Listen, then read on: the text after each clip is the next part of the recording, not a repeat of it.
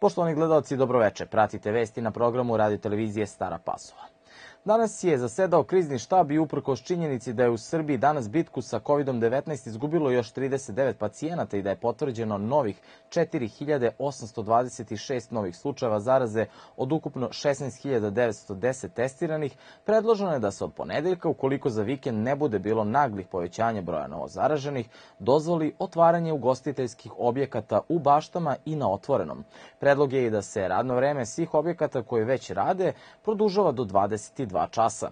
Pokrajinski sekretar za zdravstvo Zoran Gojković rekao je nakon sednice da je ukupna epidemiološka situacija u ovom trenutku i dalje vanredna, ali da je dobro da se broj novozaraženih zaustavio na nekim velikim brojevima.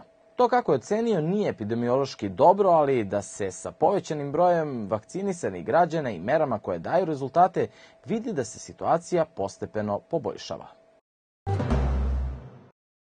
Predsednik Srbije Aleksandar Vučić uputio je danas uskršnju čestitku Beogradskom nadbiskupu i metropolitu Stanislavu Hočevaru i svim hrišćanskim vernicima koji uskrs slave po Gregorijanskom kalendaru.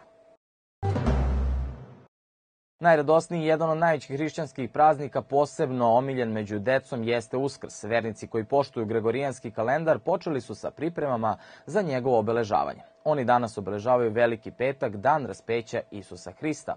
Uskrs je veliki hrišćanski praznik kada je porodica na okupu, kada se pored bogate trpeze stavljaju i najlepša ukrašena uskršnja jaja, a onda se deca i odrasli kucaju njima. Svaka boja za jaja ima neko značenje, pa tako crvena simbolizuje Hristovu krv, plava istinu, a zelena plodnost. Tri dana koliko uskrs traje, rođaci, prijatelji i komšije daruju se ofarbanim jajima, a u posetu se ne ide bez istih, niti će se desiti da vam tih dana neko ko dođe u posetu ne donese uskršnja jaja. Na današnji dan je veliki post i ništa se ne radi, osim što se ide u crkvu i farbaju jaja. Običaj je da vernici dolaze u crkvu obučeni u crnu ili tamnu odeću, a predstojeći praznik svim vernicima koji uskrs obeležavaju po Gregorijanskom kalendaru čestitao i predsednik opštine Stara Pazova Đorđe Radinović. Ministar unutrašnjih poslova Aleksandar Vulin pozvao je danas sve koji žele da profesionalnu karijeru ostvare u policiji i tako budu na usluzi svojoj zajednici i zemlji, da se prijave na konkurs za polaznike Centra za osnovnu policijsku obuku koji je nedavno raspisan.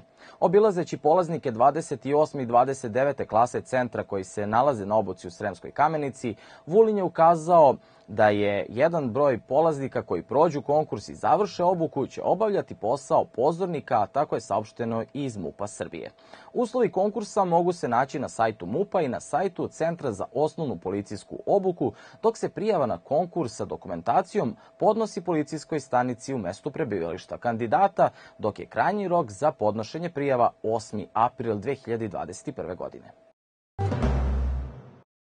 Nakon Beograda glumačka postava filma Drava se ne predaje preselila se u Belegiš, gde je nastavljeno snimanje dokumentarno igranog ostvarenja o posadi kraljevskog ratnog broda Drava.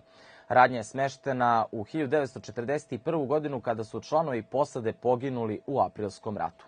Predsednik pokrajinske vlade Igor Mirović, koji je danas zajedno sa predsednikom opštine Stara Pazova Đorđem Radinovićem prisustvovao snimanju, rekao je da veruje da će reditelj Nikola Lorencin uspeti da na filskom platnu ovekoveči ove istorijske događaje. Đorđe Tečanović, karatista iz Stare Pazove na državnom prvenstvu održanom u Čačku, osvoje srebrnu medalju u kategoriji za seniore preko 84 kg. Ovo je bio jedan težak turnir za njega jer je učestvovalo 17 kandidata koji su se takmičili za zlatnu medalju. U finalu se borio sa kapitenom reprezentacije Srbije Slobodanom Bitevićem iz Pančeva, prvakom Srbije u ovoj kategoriji.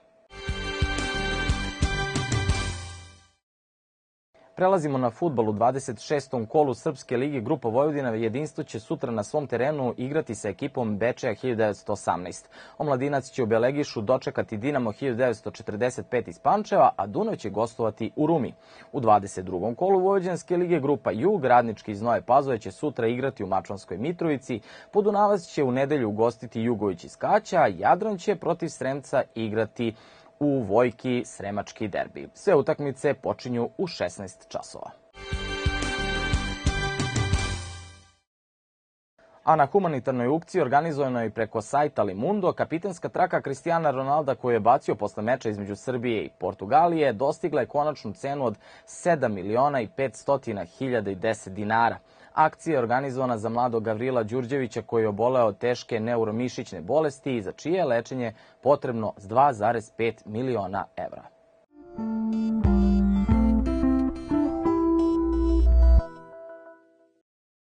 Kako metrolozi najavljuju za subotu, pretežno oblačno i hladnije vreme, mestimično sa kišom na planinama sa snegom. Vetar će biti umeren, povremeno i jak, zapadni i severozapadni. Najniža temperatura biće od 5 do 9 stepeni, dok će najviša dnevna biti od 10 do 15 stepeni. Poštovani gledalci, pratili ste vesti na programu radio televizije Stara Pazova. Hvala vam na pažnji i ostanite uz naš program.